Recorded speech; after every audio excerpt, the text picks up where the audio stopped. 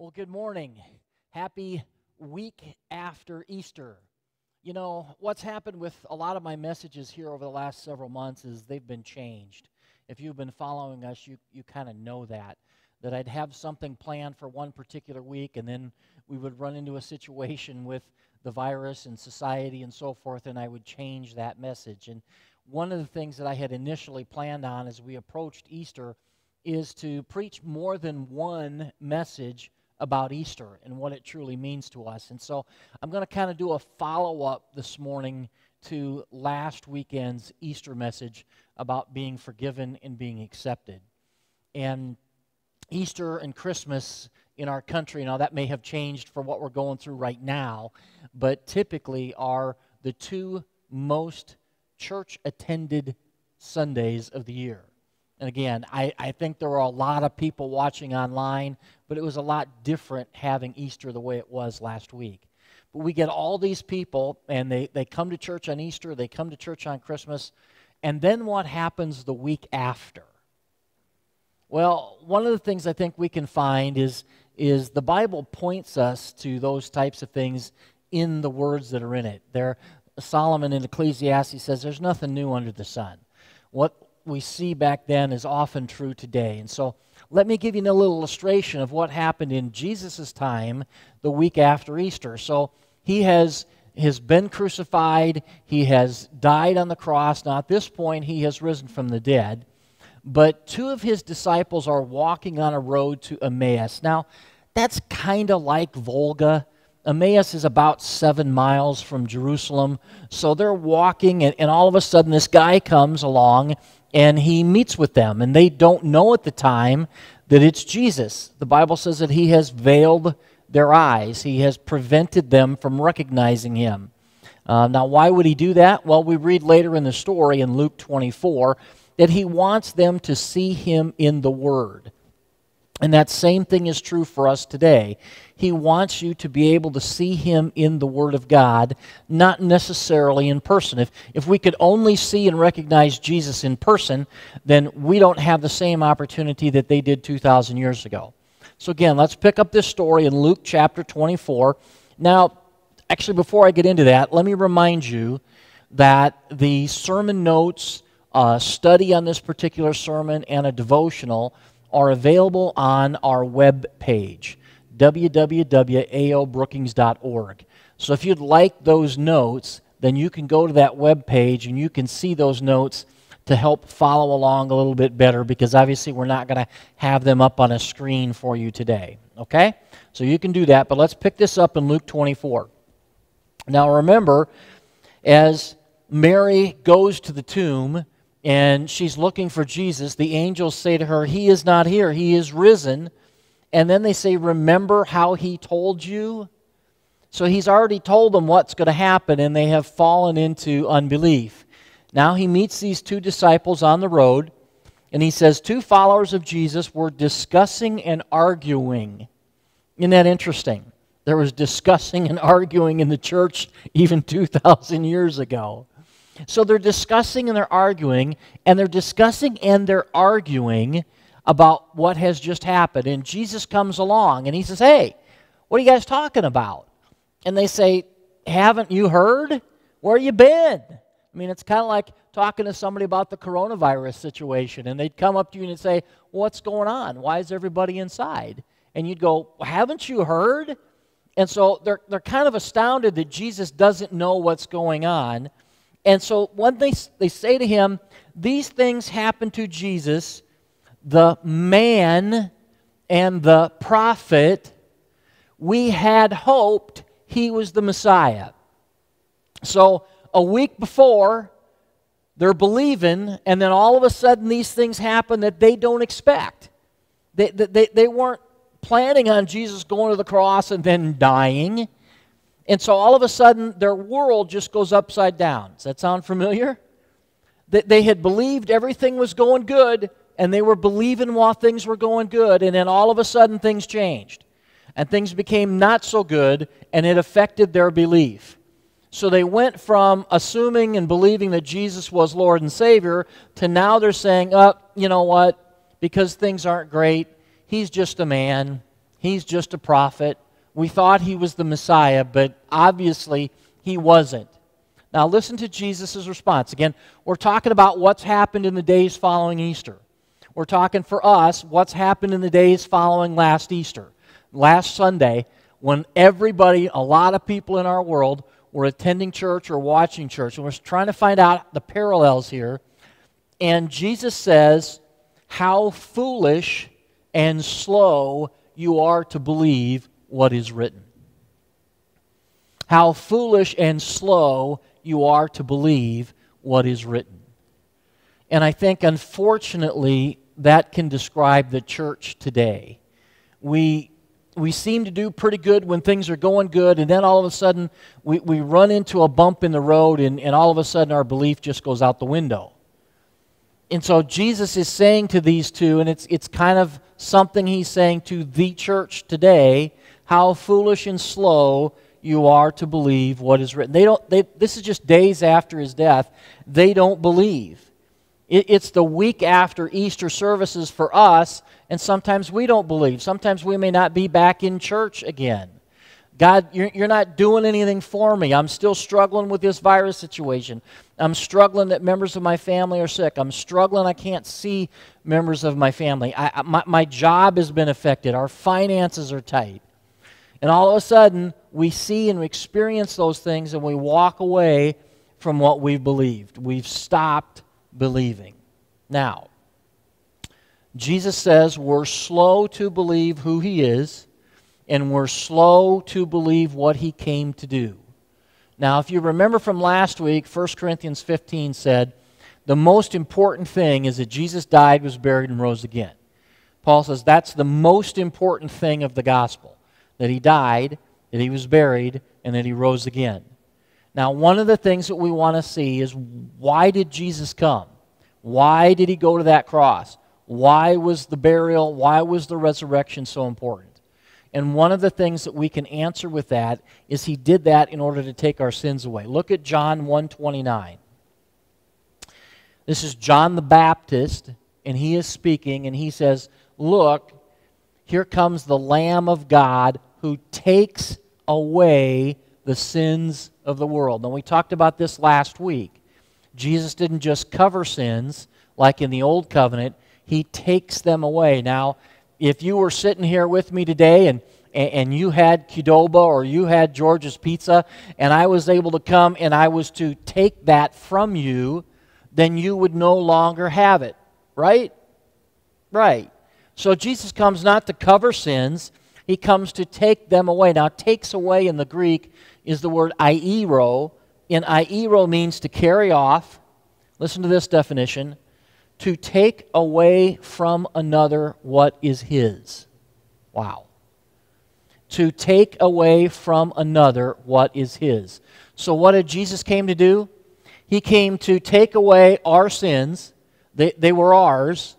And he came to take them away from us, to carry them off. Not just to cover them, to take them away. And if I take something away from you, you don't have it anymore. And so we see in Ephesians chapter 2, Jesus did this to reconcile you back to God through the cross. Now, reconcile means to return to favor. So we were, we were out of favor with God. Why? Because of our sins. And Jesus and God, God the Father was a part of this too. Don't, don't ever believe that God didn't want anything to do with this and that God is trying to punish you and Jesus is just holding him back. No, Father, no, don't do that. No, it was God's idea. It was God's idea to reconcile you, and the plan was to reconcile you through Jesus. So God wanted to restore us to favor. He wanted to be able to bless us, but He had to do something with the sin issue. And what Jesus did with the sin issue is completely take them away. Remember 1 Corinthians 15, 17 in the Gonal Standard Version? If Christ is risen, your faith is valuable, and you are no longer in your sins. You are no longer in your sins. You are forgiven, and you are accepted. So let's dig into this story a little bit more of what happened after that resurrection and how it affects you and I today. But let's invite the Holy Spirit to help us understand that. Father, thank you so much. It is just such a joy to be able to meet, even if we're meeting in this way, Father, electronically. Um, your word uh, will not return void. It will accomplish everything you have uh, sent it to do. And so we thank you for those promises, whether we are in person with one another or miles and miles apart. And we thank you for the power of the Holy Spirit, that through the Holy Spirit pointing us to Jesus, we might be able to see this truth more clearly. And we ask those things in the name of Jesus Christ our Lord. Amen. I, one of my favorite shows growing up was the A Team. I don't know if you guys remember the A Team. And Colonel Hannibal Smith had a line in there. He was smoking that big cigar, and he said, I love it when a plan comes together. You remember that? Do you know he stole that line from God? God loves it when a plan comes together, too. Now, what am I talking about? Let's take you to Ephesians chapter 1. Now, last week we talked about how all the blessings come in Christ. All of the blessings that Jesus did everything for the benefit of the church. And we found that in Ephesians chapter 1. So let's take this apart just a little bit more and let's look at what this says. We're going to look at verses 5 through 9. God's unchanging plan has been to adopt us into his own family by bringing us to himself through Jesus. So this is all part of God's plan. God, God, is God forcing anything? Is God orchestrating us like puppets? No, not at all. But God saw what our response was going to be to our freedom. He saw the sin that we would commit, and He loved us so much that His plan was okay, I'm going to send Jesus to pay the price for those sins so that we could be restored into a relationship of favor and blessing with our Heavenly Father. So his plan was to adopt us, not to leave us on our own, not to leave us into slavery. His plan was to adopt us back into his family through Christ. Now, here's the cool thing about adoption. Now, there's a lot of cool things about being a biological son or daughter.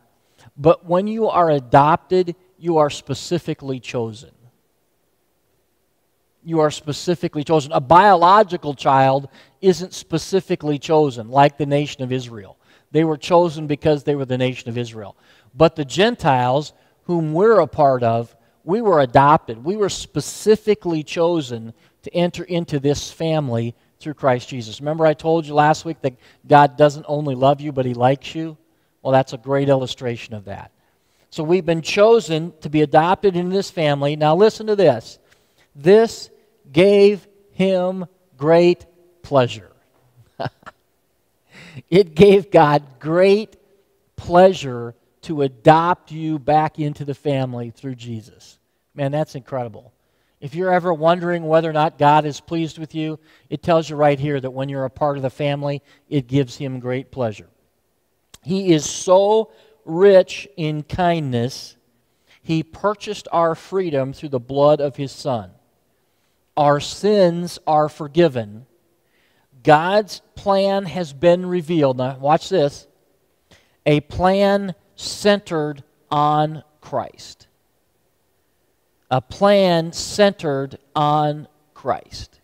It's not about us, it includes us, but the plan was centered on Christ. That's why we talk about Jesus all the time, because God's plan was centered on Christ.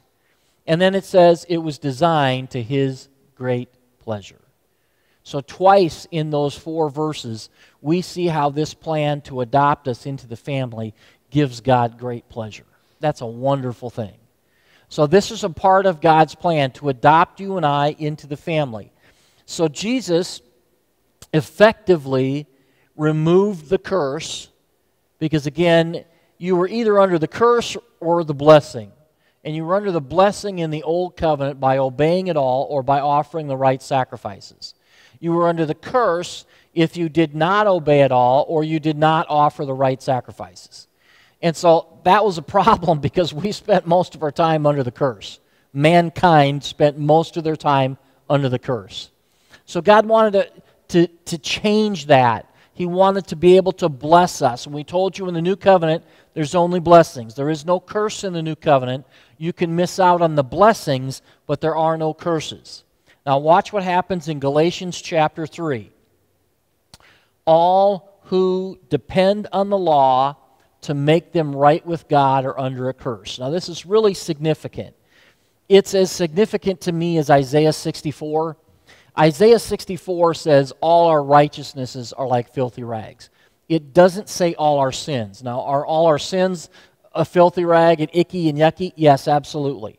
But it says in that Isaiah 64 that all our righteousnesses, all of the good things we do to try to get right with God, are like a filthy rag.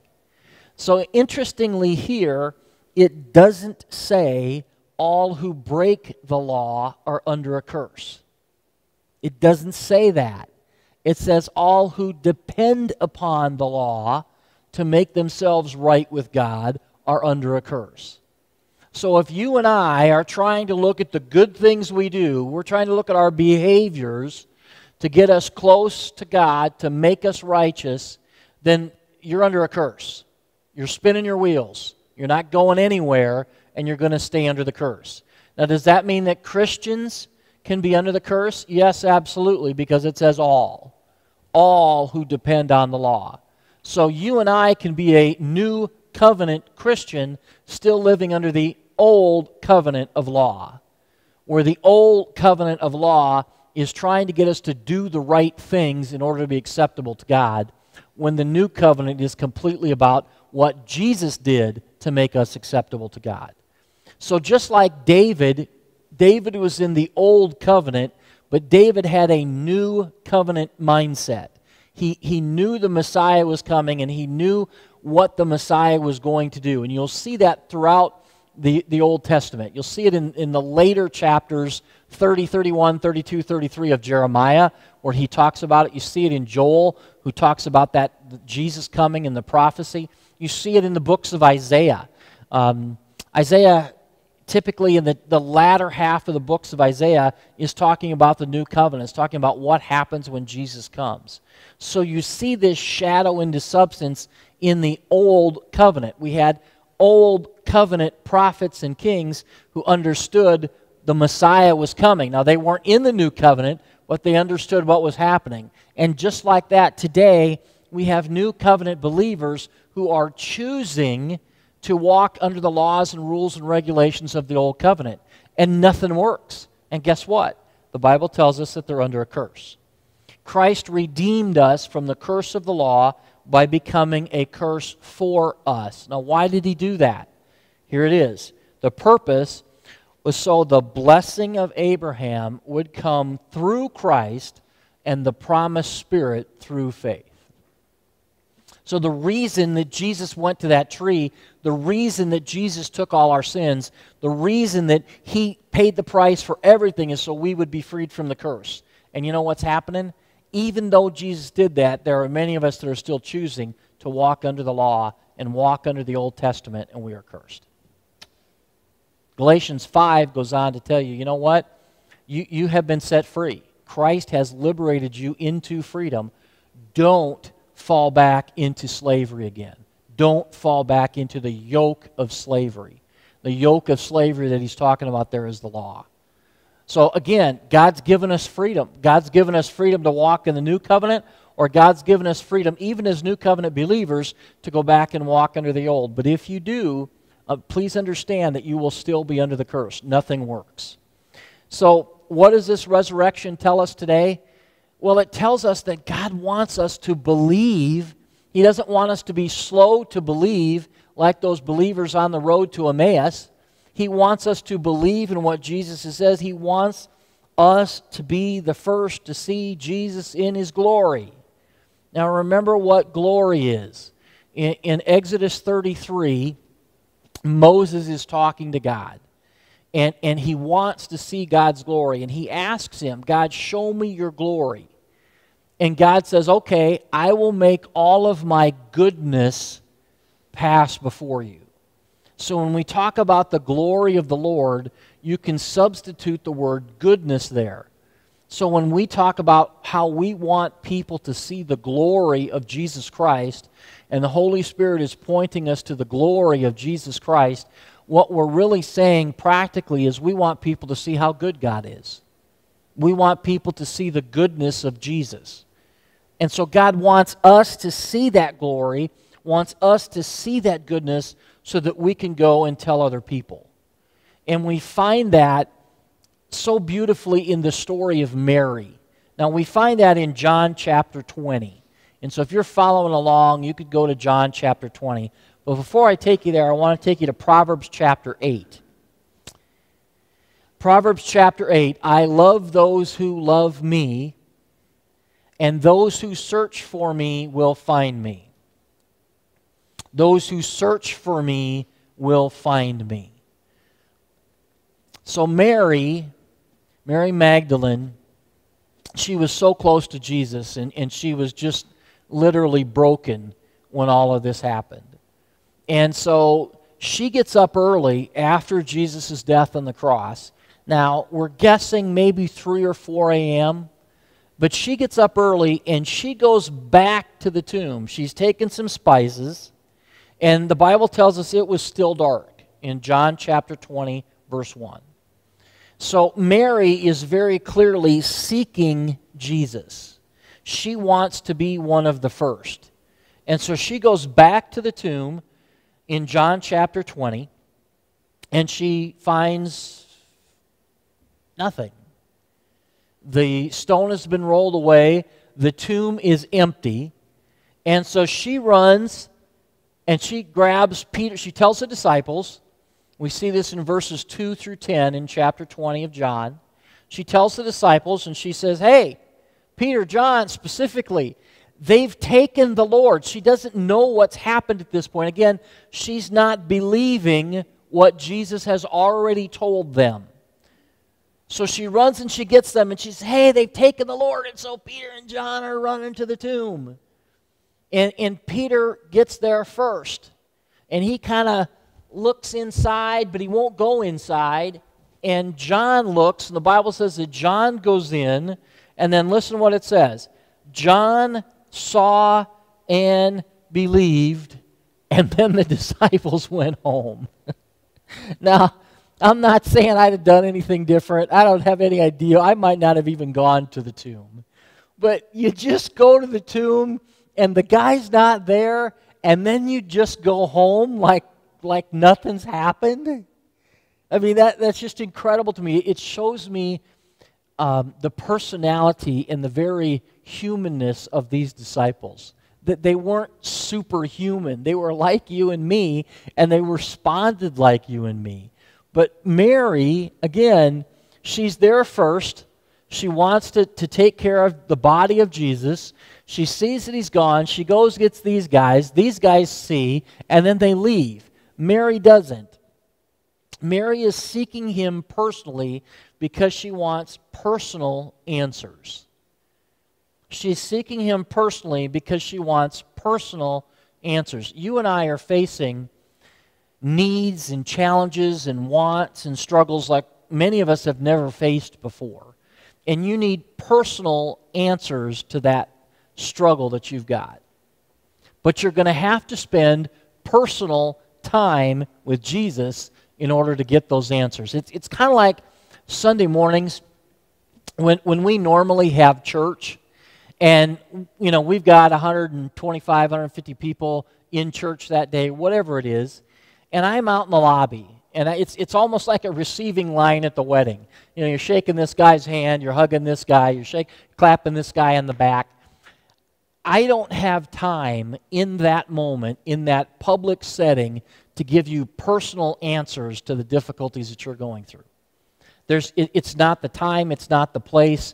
We're, we're not having an intimacy there that I can really talk to you about the things that you're struggling with. Now, last night, I spent about an hour on the phone with someone in our church who's going through some struggles related to all the things that are going on.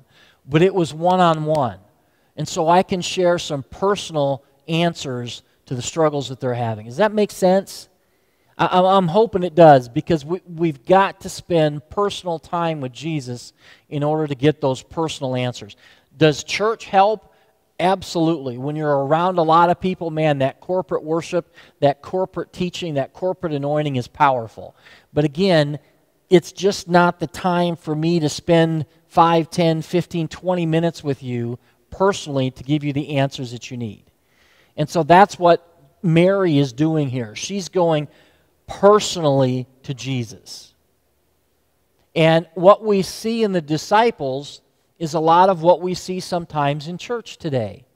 They, they go to the tomb, they see the good news, and then they just go home. P- people come to church at times and they, they hear the good news and they, they see all the things that God is doing, and then they just go home. And, and they don't do anything with that. They don't share the goodness and the glory of God with anybody. So, again, nothing's changed. We see the same types of things in, in this story that we see today. Now, Mary's not left. Mary's still wanting to spend some personal time with Jesus. And so Mary's there, and all of a sudden, she looks inside the tomb and she sees two angels sitting inside the tomb. Folks, this is the first time in Scripture you're going to find two angels sitting. Angels are always active. They're, they're, they're fighting, they're flying, they're delivering a message, they're whatever. They're sitting. Now, what is this a picture of? This is a picture of the Ark of the Covenant. The Ark of the Covenant is the, is the gold box that Israel carried around. It basically was the presence of God. It had the, the, the, the remnants of the Ten Commandments that Moses had broken, so the stone tablets. It had a, the pot of manna, and it had Aaron's rod inside that. That Ark of the Covenant was inside the Holy of Holies, and when the priest came once a year, he sprinkled blood on that Ark of the Covenant in order to cover, not, not take away, in order to cover the people's sins. And on top of that ark, again, it's a, it's a rectangular box, and on each side of that ark, there's angels that are sitting with their wings out, and they're guarding and protecting that ark. Now, what we see here is a picture of that that ark is a shadow of something greater. Now go back to Exodus 25 22. Exodus 25 22. And God says, I will meet with you and talk with you above the mercy seat. So God is saying when, when the priest sprinkles the blood on the ark, it covers our sins and so now God can meet with us and talk with us above the mercy seat. All right? Mary gets to see the substance of that shadow because Mary gets to be the first one to meet and talk with Jesus above the mercy seat. Now, if you think of that tomb, that tomb was stone Jesus, they would have wrapped his body in the white linen. It would have been incredibly bloody. Incredibly bloody, those grave clothes. And that blood would have gotten on the stones of the tomb where he laid. So, unlike the shadow of the old covenant where the priest sprinkled blood on the mercy seat to cover for the sins, that blood of Jesus Christ shed on those stones was going to remove sins forever. So, because that blood was shed here, and it's a picture of the ark, Mary is the first to speak to God above that mercy seat. Listen to Hebrews 10. It's not possible for the blood of bulls to take away our sins. God says, I don't want animal sacrifices. God's will for us was to be made holy by the sacrifice of the body of Jesus once for all time. Once for all time. You have been made holy because of what Jesus did, not because of any of your actions. Folks, let me be real blunt. It is blasphemous to think that any of our actions can make us holy. And there are churches who teach that, that your actions and your behavior leads to holiness. There is absolutely no possible way that your or my actions and behavior can lead to holiness. It's just not possible We're made holy through the sacrifice of Jesus Christ. and then out of that, behavior follows. So remember Mary. Her doctrine is bad, okay? She doesn't believe. She doesn't believe, but her heart is seeking him. Now, if God had to make a choice, God would rather say, I, I want your heart before I want your head. I want your heart first. And what we find in, in my testimony and the testimony of so many people in this church, as they hear the good news of the gospel of grace, their head goes, No, I don't believe that.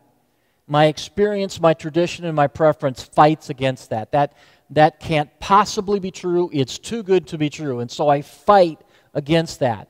And yet, what happens is our heart knows it's true our heart knows it's true. I knew it was true. My heart knew it was true before my head knew it was true. And I, I, remember telling God in, in late December 2010, God, I don't understand all this, but my heart knows it's true, and I will preach it. And I will preach it till the day I die.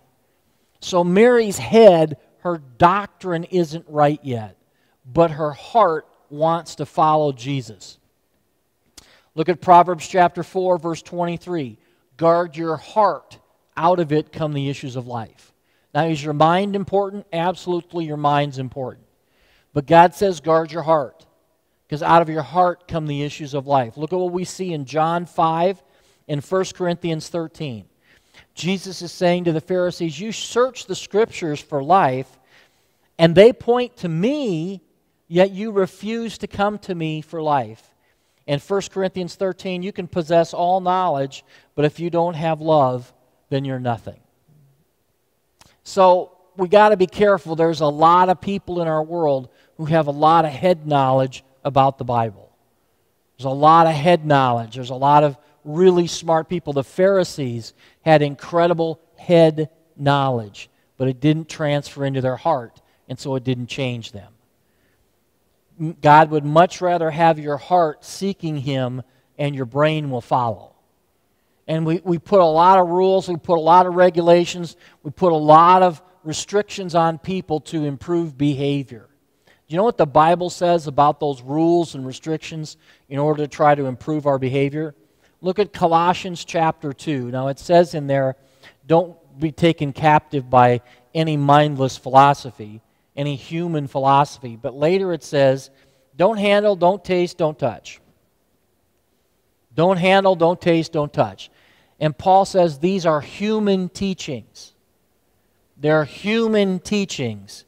They seem wise because they require devotion, they require self denial, they require discipline, but they provide no help in conquering evil desires. Wow. All of those rules, all of those restrictions, all of those laws we try to put on people look good, but they do nothing to help you avoid sin. Nothing. Now, what's the answer? Well, we take Luke 7 and John 14 and we take them together. And we see in Luke 7 that a woman, probably a prostitute, came to Jesus at a bunch of a gathering of a bunch of religious people, and she literally washes her hair, her feet, his feet with her hair and her tears. And the Pharisees are like, "Wow! If they knew what kind of woman this was, you know, he wouldn't even let her touch him." And Jesus then says, "Her sins are many." but she knows that she has been forgiven, so she loves much. He says, You believe your sins are little, and so as a result, you love little. And then if we pair that with John chapter 14, because remember the Bible's a puzzle, and all those pieces go together. So Jesus is saying, when you know how many sins you have been forgiven of, you will love much. And in John 14, he says, the person who loves much obeys much. So if we're really trying to improve and change behavior, if we're really trying to eliminate those evil desires and actions from our lives, it's not by putting a bunch of new rules and regulations on us. It's by understanding how much we have been forgiven, how many sins we have been forgiven of. And when you understand how much you've been forgiven, you will love much. And when you love much, you will obey much. Amen? So, continuing in John chapter 20, Mary's crying. And, and the angels, why are you crying? This is, this is a time for great joy that the tomb is empty. They don't understand why she's in tears. The same question could be asked of us today. Why are you sad? Why are you depressed? Why are you crying? Jesus has risen from the dead. He's paid the price for our sins. We have been set free. The, the obstacles have been removed. The, the, the stone wasn't rolled away for Jesus to get out, it was rolled away for us to get in. And so we see the angels ask her this question, and they say, Now, watch, this is significant. Woman, why are you crying? Now, later on, down in verse 14, she sees Jesus. She didn't know it was him. Just like the disciples on the road to Emmaus, they don't recognize him. She thought he was the gardener. Now, this is actually appropriate because he obviously was in the garden with Adam and Eve. And so you could see him and consider him as a gardener. So she thinks he's the gardener's. And, and Jesus then says to her, Woman, why are you crying? Just like the angels. Woman, why are you crying? And she says to him, Just please tell me where you've taken him. I, I just, I just, again, she thinks he's the gardener. I just want to be with my Lord. I just want to be with Jesus. You remember some of the verses from earlier? That those who get up early and seek him, they will find him. You remember that Mary was at the tomb early. She was looking for Jesus. You remember that when John and Peter left and they went home, Mary stayed because she wants to be with Jesus. So she tells Jesus, who she doesn't recognize, Please just tell me where you've taken him. I, I just want to be with him. Now, watch what he, he does here because things change. At first, he says, Woman, why are you crying? Now, what he says is this Mary. Mary. Everything changes with that one word. Folks, when you can begin to understand that Jesus knows your name, everything will change. It will change your sorrow to joy, it will change your darkness to light. He knows your name. And so for Mary, the tears are changed to incredible joy when she hears her name. You remember Exodus 33? We talked about how Moses said, Show me your glory, and God said, I'll let all my goodness pass by you. Listen to this very next verse. You have found grace in my sight. I know you by name. Wow. So Moses asks to see God's glory. God says, I'll let all my goodness pass before you. Why? Because you have found grace in my sight, and I know you by name. Wow. That is incredible. In John chapter 10, it says, He calls His own sheep by name and leads them out. He protects them from the thief, He protects them from the wolf, He protects them from the devourer. Why? Because he knows you by name. In Acts 22, we read the story of Saul who would become Paul, and it says, Saul, Jesus says, Saul, why are you persecuting me? Now, no one else hears the voice. No one else hears the voice but Saul, Paul, because Jesus called him by name. So today, no matter what you're going through, I want you to understand Jesus knows your name. Blood has been shed, your sins have been forgiven. And when you know your family, it leads you from weeping to worship. It leads you from unbelief to belief. It leads you from fear to faith. And so, after Jesus talks to Mary and they establish this, Jesus says later, Go to my brothers Tell them I go to my God and your God, my Father and your Father. Now, that was the first time that he called his disciples brothers. And notice what he says I go to my God and your God, my Father and your Father. The resurrection of Jesus Christ has opened this door to allow us to be adopted into the family. And when you know that, if, if I've adopted you, guess what? I know your name. If I've adopted you into my family, I know your name. And guess what? Now that you have been adopted, you are entitled to all of the blessings of my family. So she goes back. She tells him he's risen. Now she's already told him that. And they jump for joy and go out and shout it in the streets, right? Wrong. Mark chapter 16. When they heard he was alive, they did not believe. they did not believe. Now, John goes on to tell us later the doors were locked because of fear, so they still didn't believe. Even though Mary has told them twice, even though Peter and John have seen an empty tomb, they still don't believe. They don't believe until Jesus comes and stands right in front of them and he says, Peace. And he shows them his hands and he shows them his side. Now, in John, you see side. In Luke, you see feet. In John, you see side because the Gospel of John is about love, and that's where that heart of love is, is in the side. And so John emphasizes the side here because it's a heart of love. And that word peace in the Greek is irene. It means security, safety, prosperity, and fearing nothing from God. So Jesus has risen from the dead. Again, disciples, their heart, their, their, their, their heads aren't in the right place. They don't believe. Jesus has to stand in front of them and he shows them the proof of the resurrection. And that proof of the resurrection brings peace. They're in major sin. They're in doubt, they're in unbelief, but there's no guilt, shame, or condemnation that Jesus brings to them. He only brings to them peace. And that proof that he brings through the power of the resurrection is for our hearts. Listen close. It's for our hearts because it's our hearts that condemn us. It's our hearts that condemn us.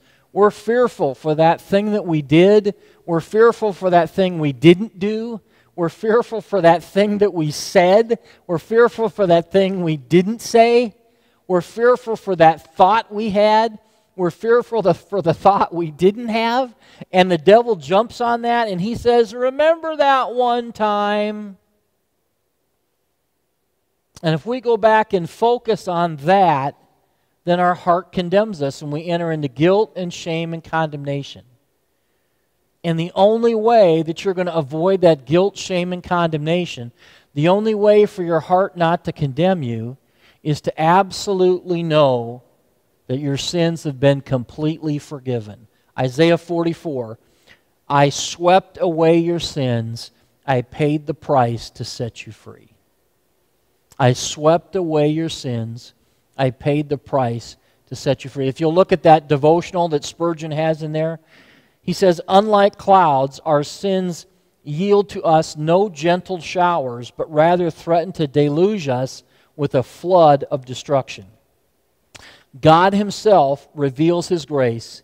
He at once and forever effectually removes the mischief by blotting it out from existence once for all. Against the justified man, no sin remains. The sin of all the chosen was forever put away and completely and effectually pardoned. Why should pardoned sinners live at a distance from God? You don't have to live at a distance from God anymore. But if you don't know that Jesus has effectively paid the price for your sins, your heart will condemn you. Guilt, shame, and condemnation come, and you'll walk at a distance from God. And you know, I, I know there are many people that are saying, God is holy. He can't ignore sin. I completely agree. I completely agree. Because God is holy, He can't ignore sin. But I will also state this to you. Because God is holy, He will never punish sin twice. And He has already punished sin completely in the body of His Son Jesus. On the cross in John 19:30 when Jesus said it is finished that word finished is the word teleo in Greek. It means to bring to a close end to perform the last act which completes a process. Amen what was the process it was God's unchanging plan to adopt us into the family through Jesus. And his act on that cross completed the process. Sin is completely gone, it has been wiped away forever. Now, do we still sin? Absolutely. Absolutely. We still sin. But I'm not a sinner anymore. The Bible calls me a saint. I'm the most holy one. I'm not a sinner saved by grace anymore. I am a saint who occasionally sins. And when I sin, I do not need to apply the blood of Jesus again. That's been applied once and for all. But when I do sin, I need to go to Ephesians chapter 5, and I need to be washed daily by the water of the Word. Remember that I get that dust off because dust is the devil's food? And so today I still sin, yes, but I don't need to reapply the blood. I apply the water of the Word, which generally cleanses me. Now, there are some people who are afraid of death. We've talked about that. And they are afraid of Jesus coming back again. Why are they afraid of death? Why are they afraid of Jesus coming back? Because they're concerned about their sin. They don't know if they've done enough. So let me take you, as we close this today, to Hebrews chapter 9, verse 28. Hebrews 9, 28. I'm going to read it to you in two separate versions the New Living Translation and the Amplified, okay? This will help you get over some of the fear of death or the fear of Christ coming back. Christ died only once as a sacrifice to take away sins. He will come again, but not to deal with our sins again. Why? He's already dealt with them. He will come again, but not to deal with our sins again, but to bring salvation to all who are eagerly awaiting him. Now, what kind of salvation? The salvation of your body. The salvation of your body. Your spirit's saved, your soul is in process of being saved, and your body will be saved completely when Jesus comes back. Okay? So let me read that to you in the Amplified Version. Christ, having been offered once to take upon himself and bear as a burden the sins of many, once for all, will appear a second time, not to carry any burden of sin, nor to deal with sin but to bring full salvation to the body to those who are waiting for him. Amen? So, what's the purpose of all this? Don't glorify sin. Don't glorify your problems and your difficulties. Glorify Jesus. Look to him and see all of his goodness. Focus on him from start to finish. He loves you, he likes you. He knows your name, and He has set you free. Amen? Father, thank you so much for this reminder of what the cross and the burial and the resurrection of Jesus has done. It has completely and effectively removed our sins so we don't have to be stuck in guilt, shame, and condemnation. So our hearts don't condemn us. Father, thank you that you know our names and thank you for the blessings that come with knowing our name. It's in Jesus' name we pray these things. Amen. Thanks again for joining us. We are praying for a quick end to this situation so that we'll be able to meet again in person very soon. Take care and have a great week.